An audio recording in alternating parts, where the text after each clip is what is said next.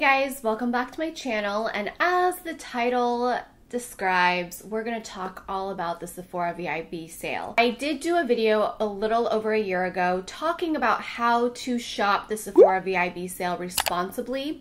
I will have that video linked in the cards as well as in the description box in case you do plan on shopping the sale. It'll give you some advice on how to not overspend but still allow a little bit for a treat as well as restocking on things that you might need and go through. Obviously, things have changed. I'm on a no buy, now low buy budget situation. And I have a lot of notes about my feelings about the Sephora VIB sale, kind of how to walk you through this if you're also on a budget or more specifically a no buy. All heard about the Sephora VIB sale at this point. Um, if you didn't, it's a sale. It's coming soon. And, you know, even with me kind of sticking in my own lane currently and not paying attention to marketing, not watching a ton of beauty review videos, not watching a ton of unboxings like I used to, and just deleting emails from stores. And the funniest thing is, the first person that brought it up to me was my brother.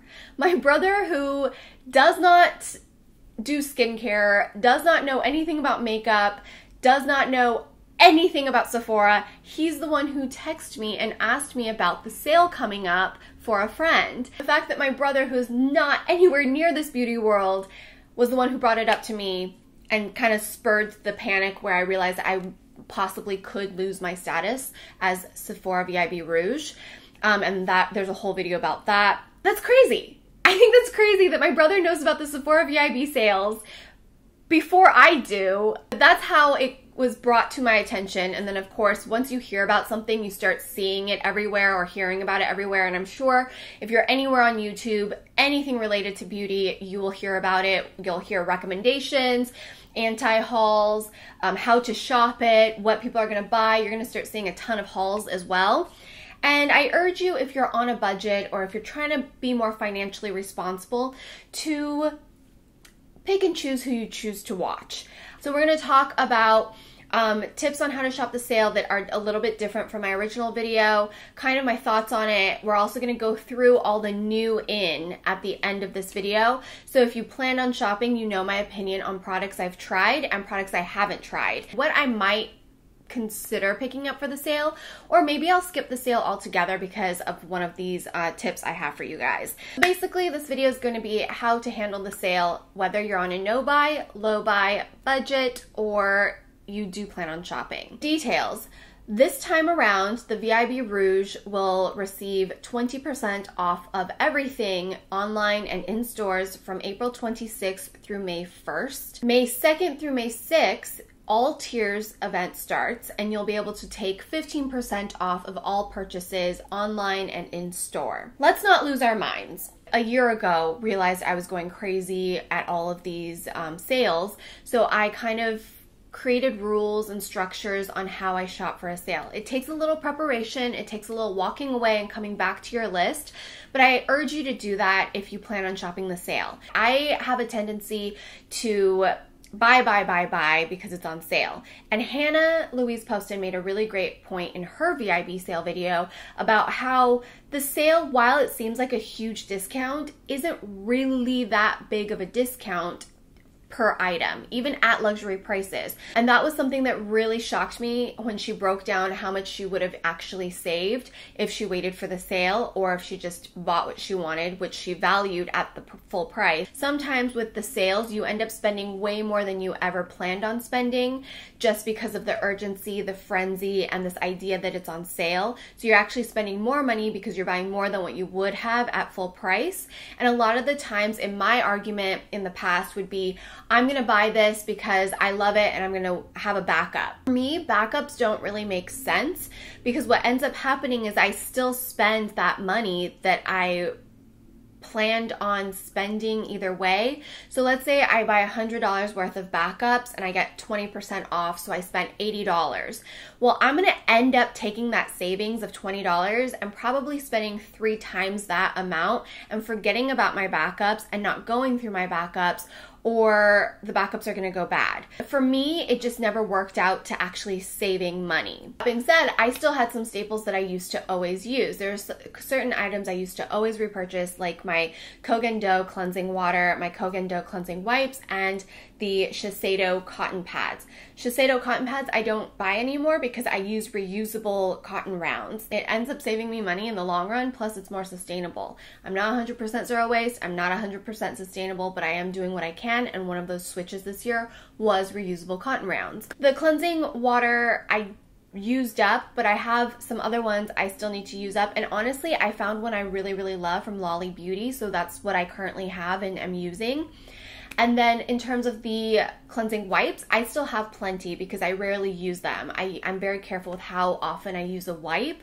So I still have plenty. I don't need to stock up anymore. And if I really do need it, I can always purchase it because to me, the value of that product at full price, I would still purchase. I don't need to stock up and have backups and hoard products because I have a tendency to do that. If you're somebody who never uh, veers off of their skincare routine, like your skincare routine is set, you've been using the same products for years or months, and you know it's not going anywhere, then I could see the value in stocking up on those products because you're not someone who tries out new things or wants to try new things or shifts around in what they're using based on season and timing.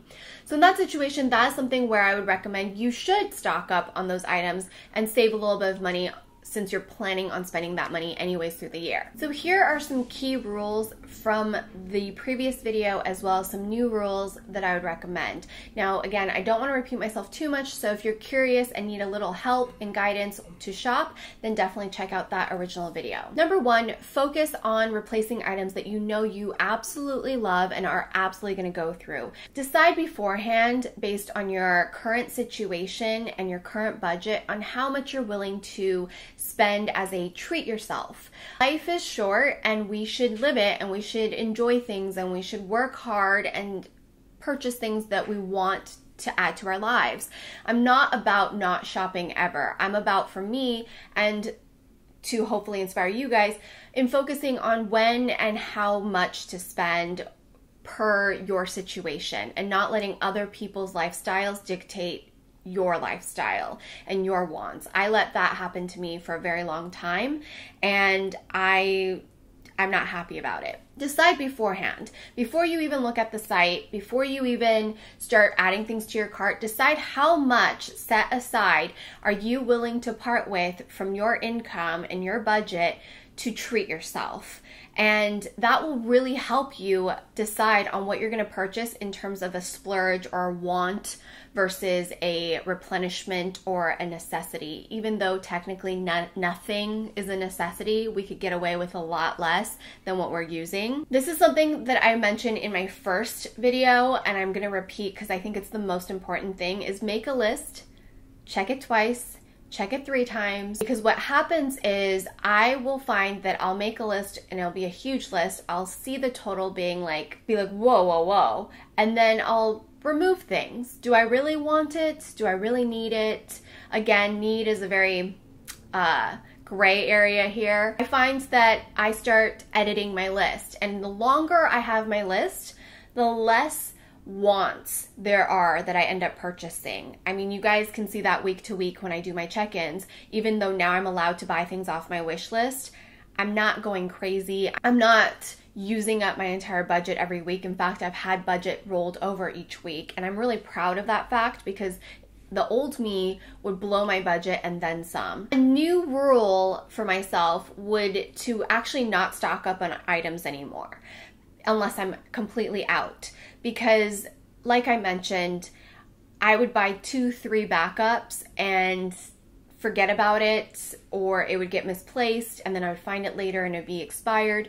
The other important thing to realize is my job predominantly is to test out new products. I'm always trying to test new products out, but how can I justify having a box of stockpile of things I love and of things coming in that I need to test out and review as part of my job.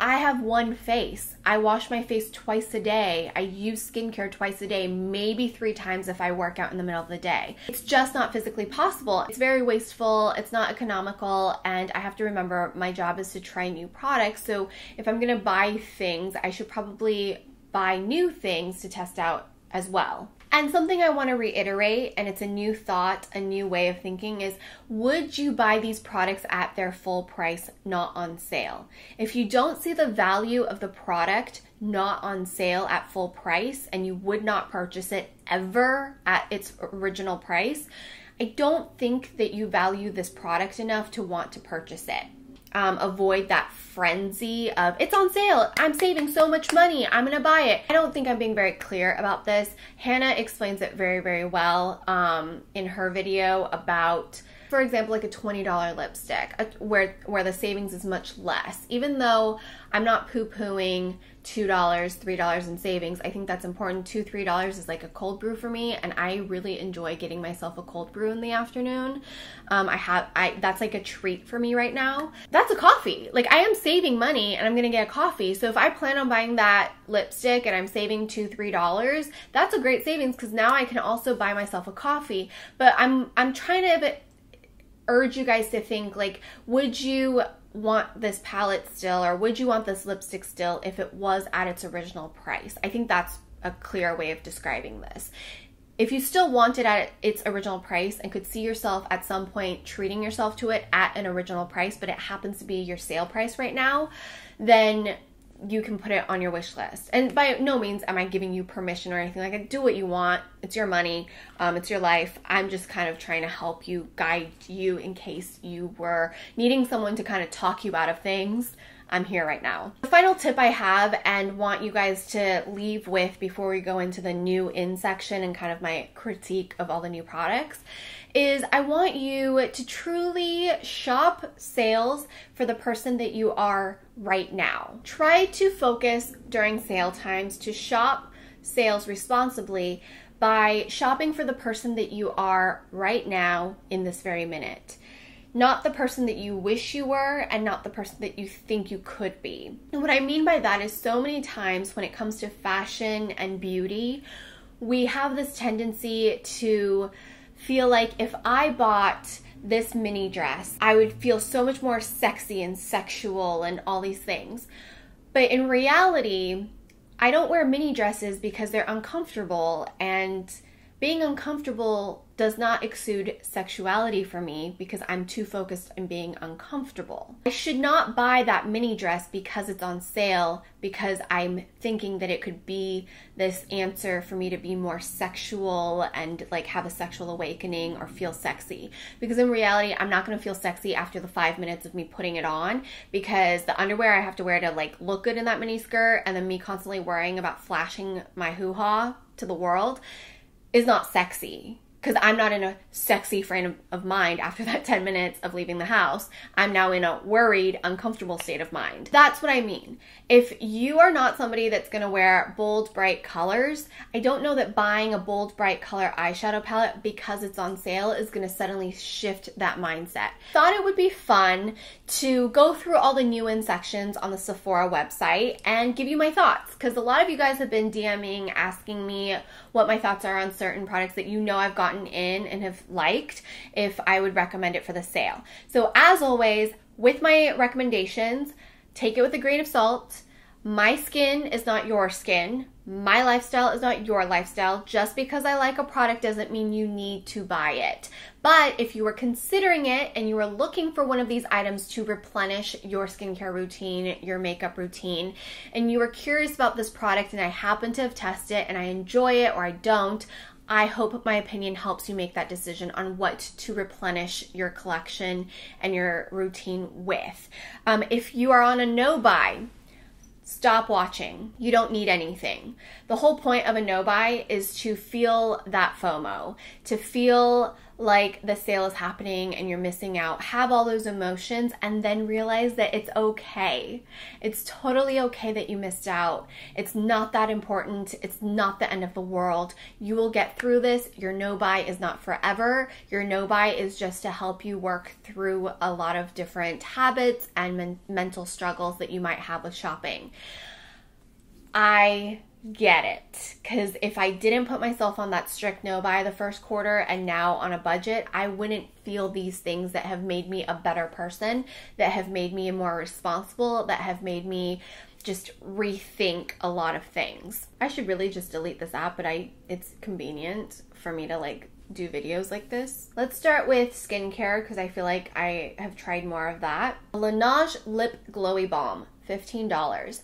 I actually really like this product. I have one in my purse, one on my makeup counter, and I believe I hid one in the car. Not anything super different from other lip balms that other than it's a squeezy tube. Um, I usually typically have them in like sticks. Yeah, I like the taste of them. I like the light fragrance.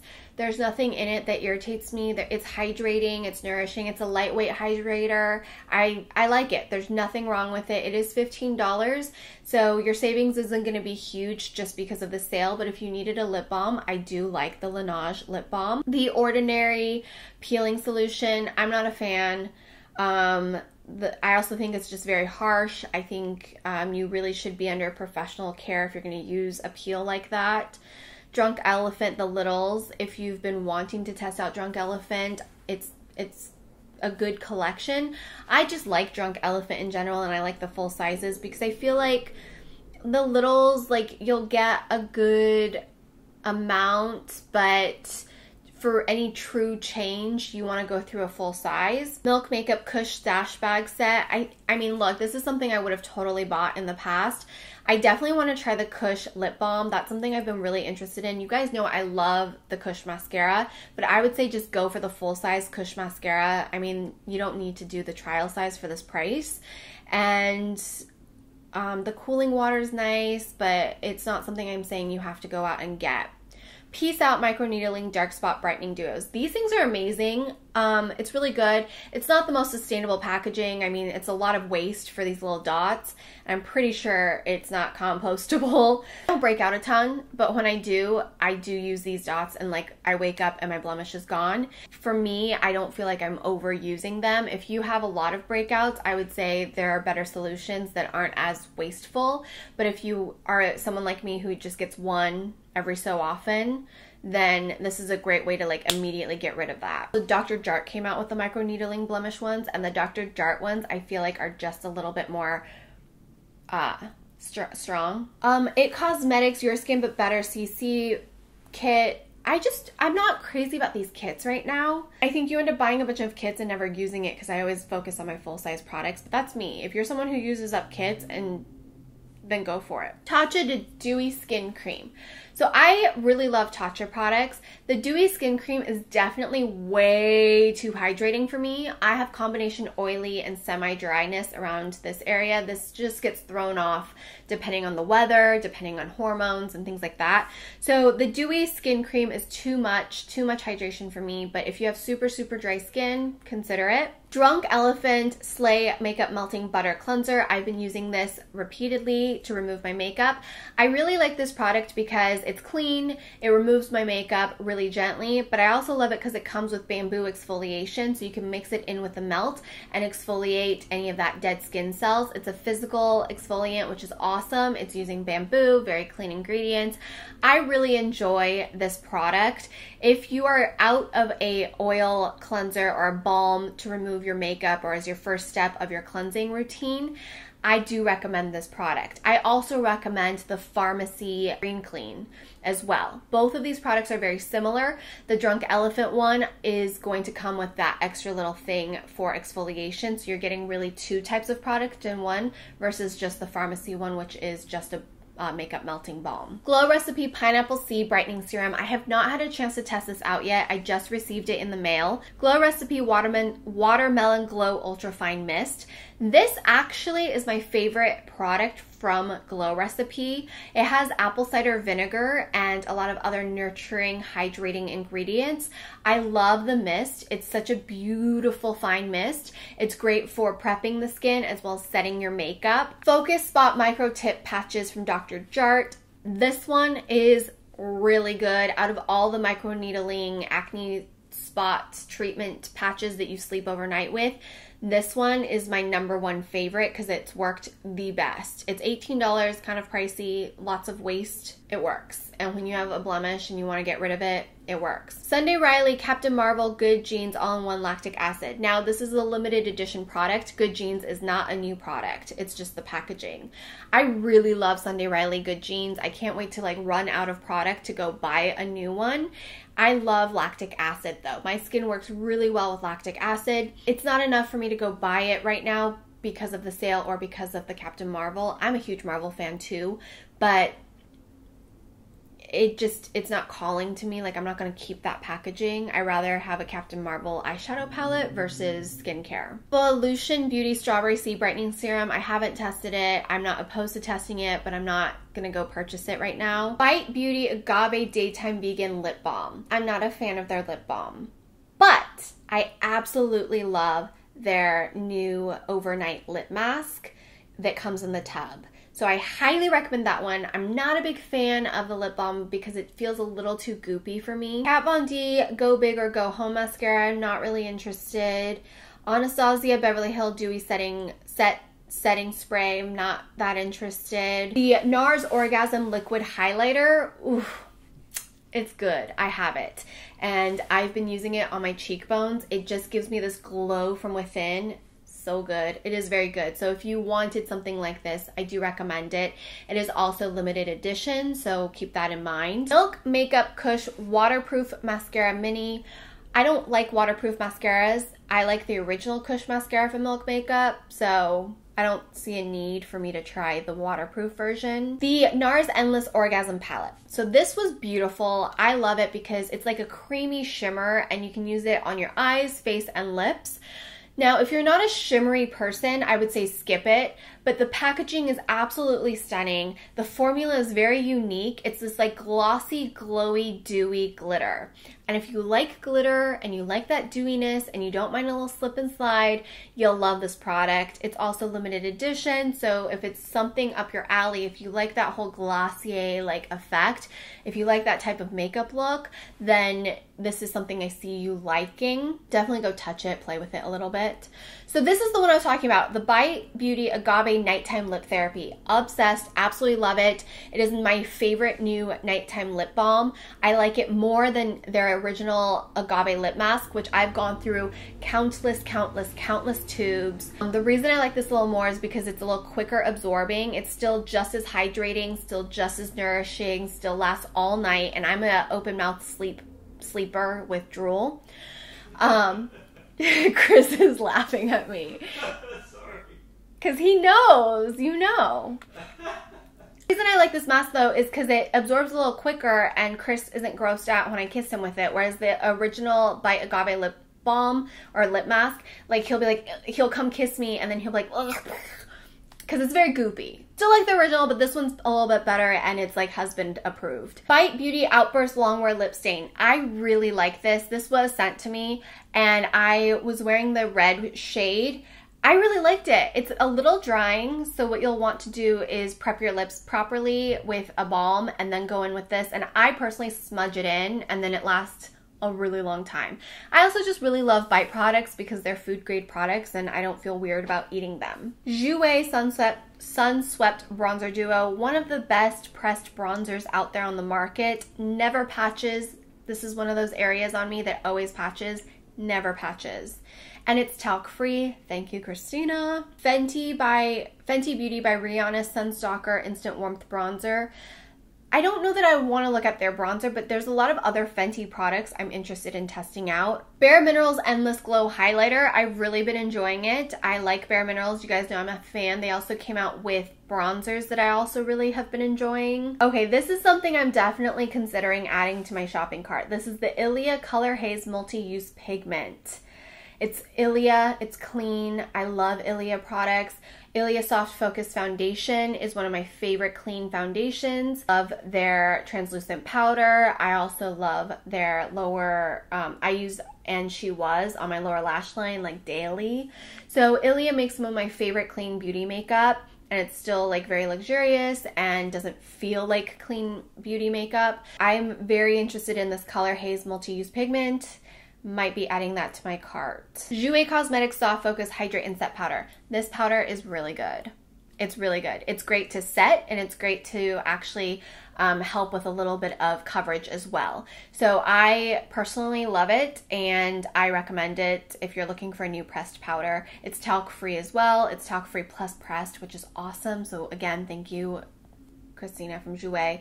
But you don't have to use the sale. You can also shop directly through jouercosmetics.com. If it's your first time shopping, I believe you get a higher discount.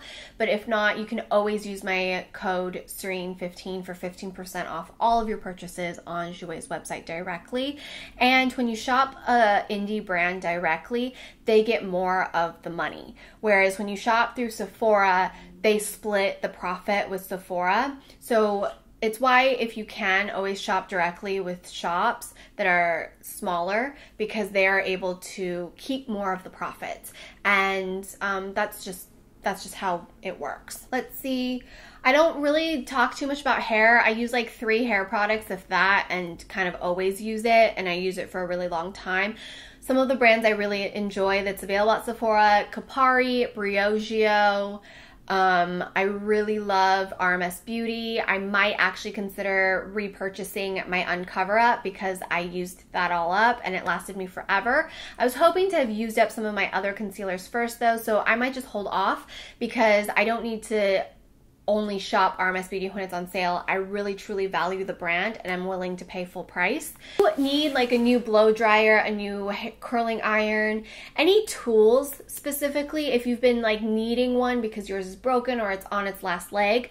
This is when I would say that's the greatest time to buy things like replenishing on your uh, brush head replacements, replenishing on cleansing tools, replenishing on um, attachments on things, and of course, hair dryers, curling irons, those things. Um, not saying you have to buy those at Sephora, but if you're looking at them and that's kind of the price level you planned on spending anyways, take advantage of that 20% off. Here's some thoughts I want to leave you guys with before I send you on your way.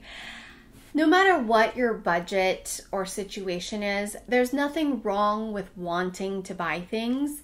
It's more about finding a way to satisfy your wants, be happy with your choices, and not stretch yourself too thin, and being smart with your choices. It's just a matter of prioritizing and making wiser choices especially for me. And trust me, I used to go crazy when the sale came around. It wasn't until literally like about a year ago when I started putting rules in place. But before then, it just was out of control. And I have to be honest, even with my rules in place, it was still out of control for what I truly needed or wanted. I would get caught up in the frenzy. I would get caught up in this like buy, buy, buy, sell, sale, sale, sell. I need, I need, I need, and want, want, want. And I lose my mind. I literally lose my mind every time the sale came around. So, if you feel the frenzy, if you feel the need to shop, but you don't plan on doing it or you want to be more responsible about it, I'm here for you.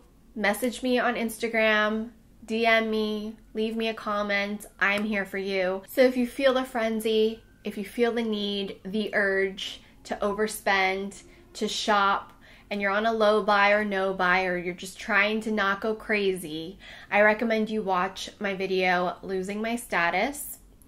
And I recommend watching my original VIB sale shopping guide, which will both be linked in the description box. I also recommend a couple other channels here on YouTube, specifically Hannah Louise Poston, her most recent video talking about the Sephora VIB sale and how she approaches it or was planning on approaching it. And she also has a couple other videos from her no buy year. So if you're not going to buy anything and you don't want to buy anything, um, check out those videos as well from her no buy year. She's currently on a budget, so she is allowed to spend a little bit of her budget. And I also really re- recommend Kelly Gooch. She does great beauty videos and realistic. So she still shops. She does a lot of project pans. She does a lot of no buy advice videos because she used to put herself on no buys. And she does makeup inventory, taking stock of her entire collection. Kelly does a really good job of finding that balance between spending and not, but not overspending, wanting but not confusing it with need, and adding conscious, mindful purchases to her makeup collection while still really loving her uh, collection.